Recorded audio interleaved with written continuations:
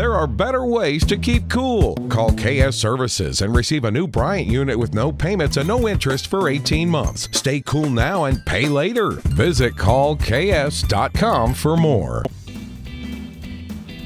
It's the Weather Xtreme video for Saturday, October 10th, 2020. Wet and breezy conditions are expected for today as portions of Tropical Storm Delta move through the area.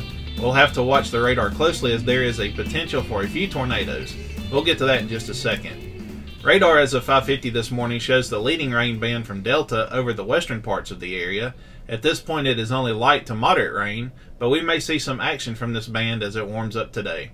There are two tornado warnings currently in effect, one for portions of Clarke, Mobile, and Washington counties, and the other for portions of Baldwin County. Temperatures as of the 5 a.m. roundup were in the mid 60s to the mid 70s across central Alabama. Gadsden was the cool spot at 65 degrees, while Troy was the warm spot at 76 degrees. Birmingham was sitting at 70, deg 70 degrees. There is a wind advisory in effect for Greene, Hale, Marengo, Pickens, and Sumter counties through 1 p.m. today as wind gusts up to 35 miles per hour will be possible.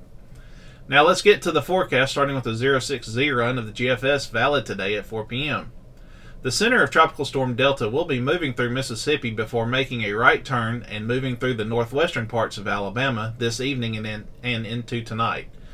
While Delta as a tropical system will continue to weaken throughout the day, a combination of rising instability across central Alabama and elevated helicity moving in with Delta will put us in a risk for the potential of a few tornadoes today.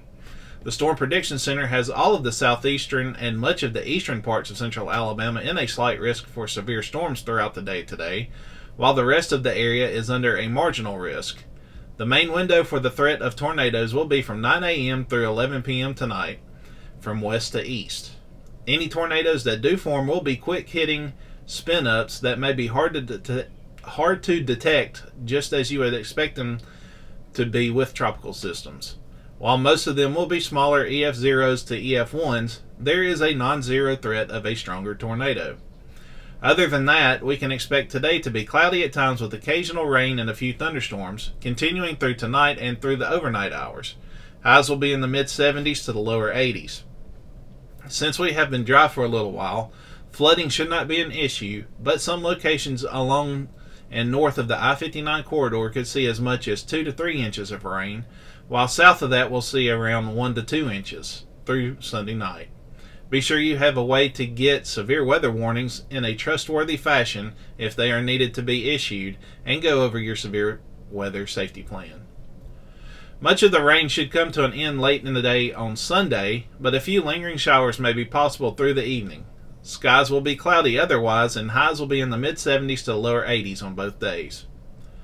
Once we get the remnants of Delta out of here, the weather will feature dry days with plenty of sunshine with warm temperatures to start, but a cold front sweeps through central Alabama late on Monday, which will drop our highs back into the mild category. Monday's highs will be in the mid to upper 80s, falling back into the upper 70s to the mid 80s for Tuesday, then the mid 70s to the lower 80s for Wednesday. High pressure will move into the western portions of, of the Carolinas on Thursday, which will send some cooler air in our direction, but it may take a full day for those highs to drop a little.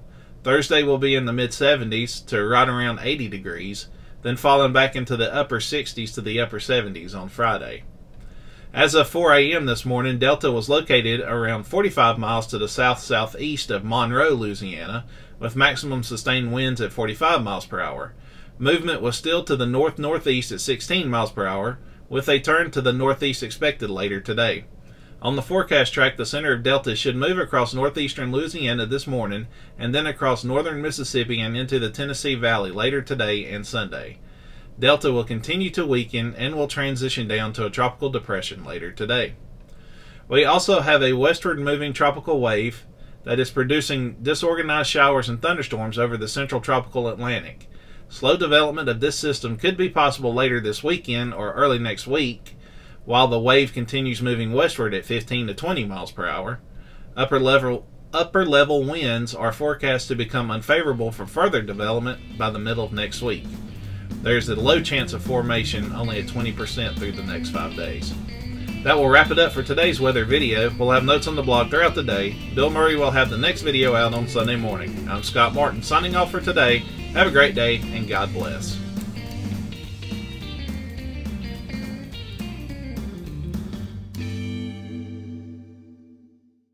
Never wait for hot water again with a tankless water heater from Plumbing Experts. Tankless water heaters are easy, convenient, and now more affordable with a no interest financing for up to 18 months. Stop with the cold showers and wasted water and call Plumbing Experts today.